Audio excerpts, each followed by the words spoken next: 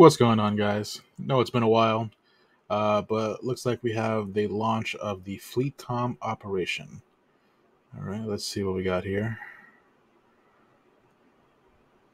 Some new game modes.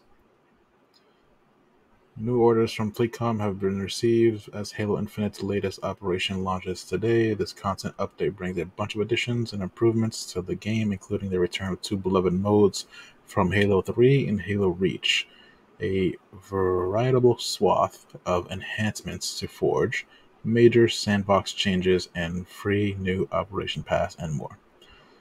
All right, well, let's get to the uh, new game modes here. Let's see. We got VIP, a mode that was originally introduced in Halo 3, been missing action ever since. Okay.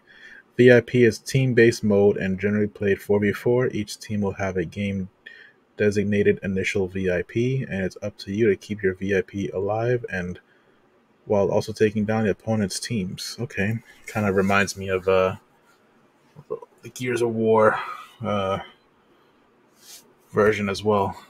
Played that back in the day. Let's see to win. First team to ten. Uh, the VIP has extra health, so it'll take a bit more to neutralize them. Everybody will also be defending the VIP, like match depends on it and each VIP kill is worth one.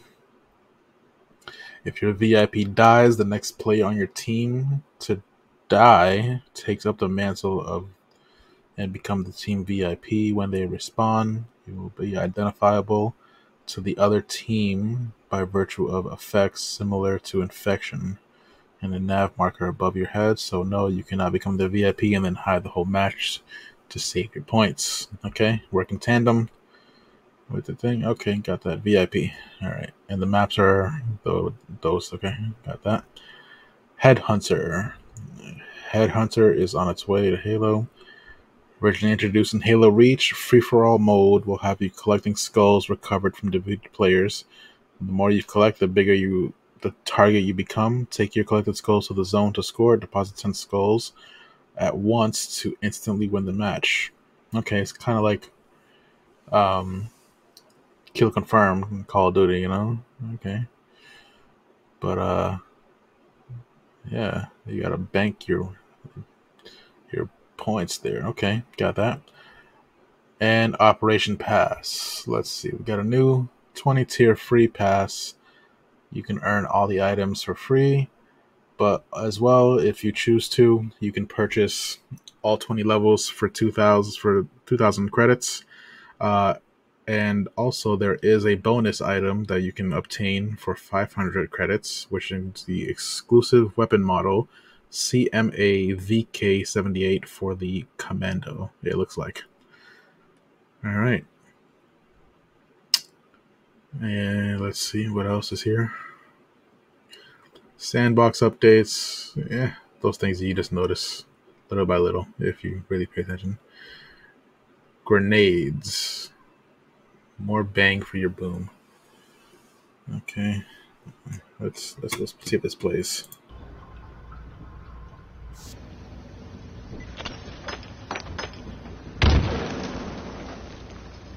Okay, let's see. Huh. All right. Well. I got that.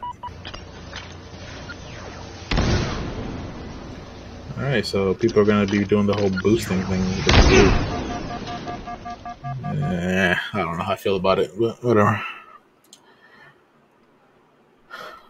Legendary weapon variants. Okay. What else? All right, nothing really major, I would say, from my point of view, since I don't do a lot of the uh, stuff here. But let's see, the exchange. There we go. The exchange has received yet another refresh with various items, both old and new, available to you to acquire with Spartan points. Speaking of Spartan points, we've been f- tracking feedback that expressed a desire for players to have more opportunities to earn these, especially as certain items in the exchange require more points.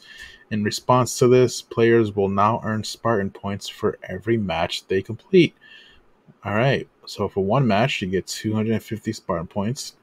For match two, you get 500 XP.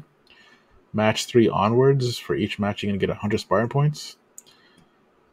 Okay, that makes sense because I mean, freaking having one item costs thirty thousand, and this new item here, seventy five thousand points. Man, that I'm like, what?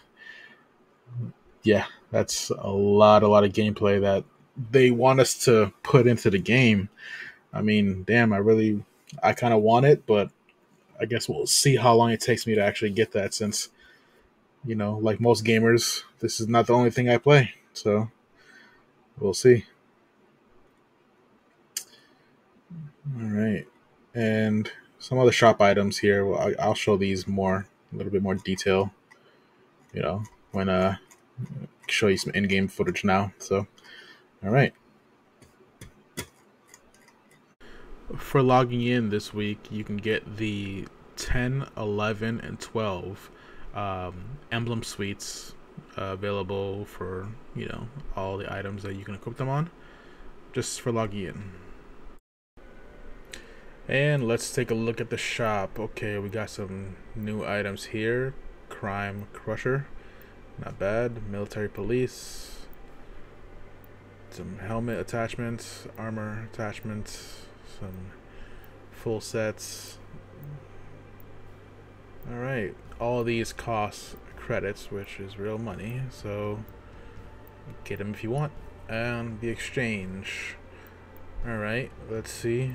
Uh, other than the obvious, let's go down here and see if there's anything else that is new or not. Okay. Alright. Seems like all these were here before.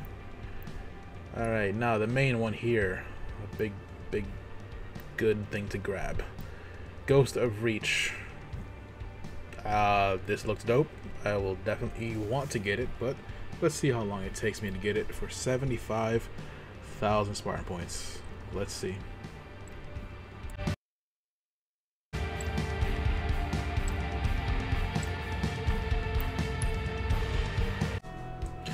And here we go with the preview of all the items in the operation.